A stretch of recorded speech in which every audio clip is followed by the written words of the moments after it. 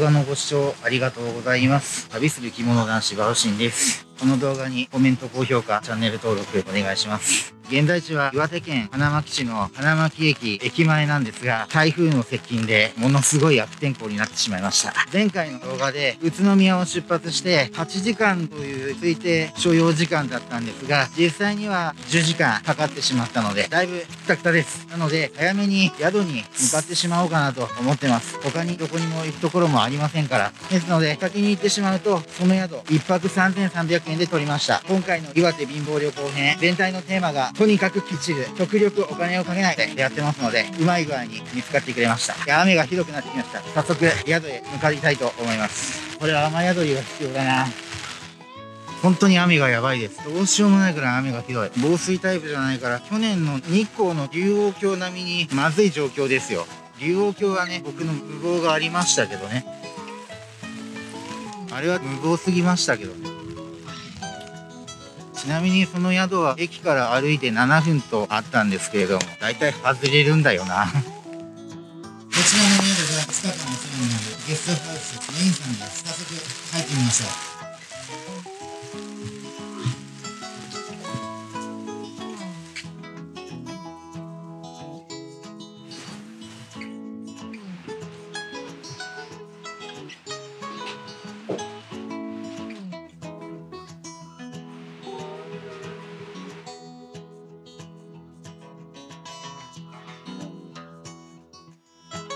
ここですね。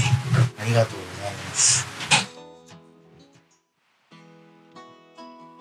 ここが今回2日間宿泊利用させていただくお部屋です。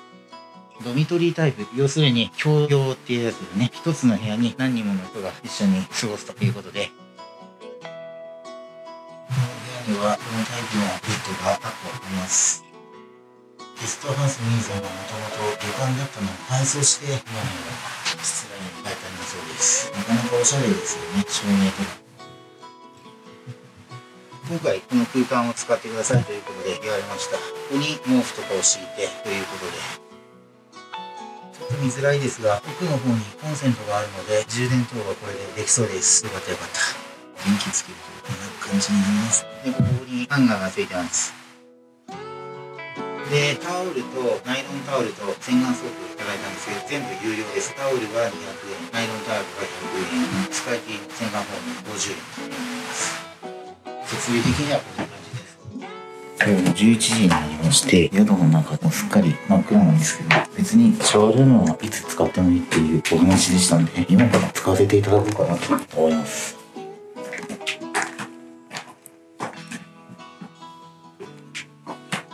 有料になるものはこんな感じですね。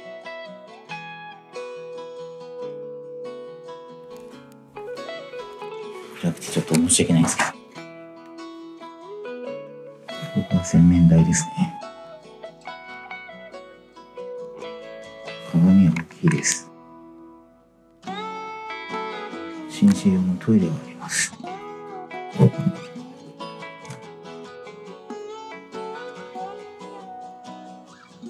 な感じですね汗かいたのでお風呂に入りましょう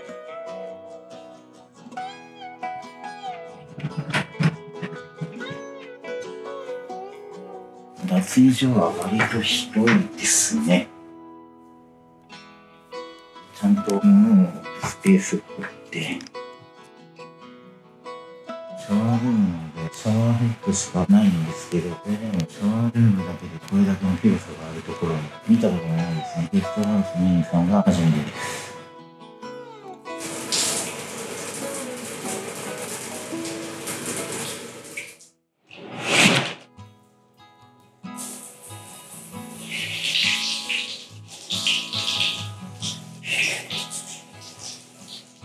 いうわけで、ゲストハウスメインさんのお部屋以外の設備見ていただきました。ちょっと小声でボソボソとした喋り方で聞き取りづらい部分があったかもしれないんですけども、撮っている時間帯がだいぶ遅い時間帯だったんで、ご容赦ください。そろそろ床に着きたいと思います。それではおやすみなさい。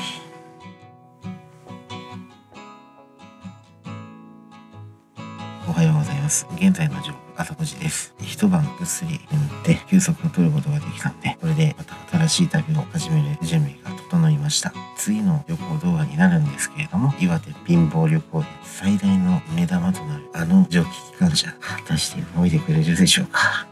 また、それは追ってお知らせします。こっちが1階に続く階段なんですけど、ちょっとずれると、2階にも洗面台とお手洗いがあります。こんな感じですね。このようになっています。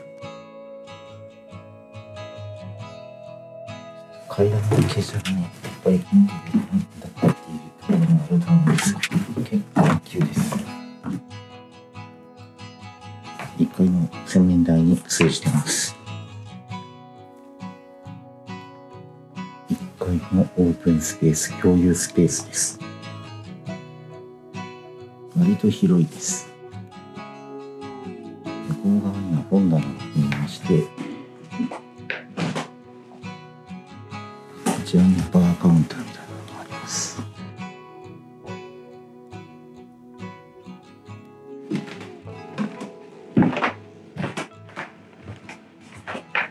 洗濯機も使いますが、1回300円になってるみたいです。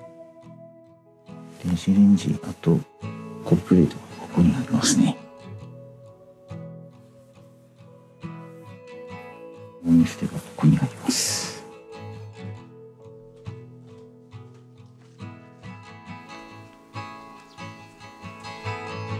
いうわけで今回の旅行動画どうだったでしょうか？ぜひコメント高評価チャンネル登録お願いします。ちょっとね駆け足の紹介になってしまったかもしれないんですけれども本当に快適でしかもリーズナブルだということがこの旅行動画を通して伝わればと思っています。そんなわけで最後まで見ていただいてありがとうございました。次はいよいよ今回の旅行シリーズ岩手貧乏旅行編最大の目玉 SL 銀河です。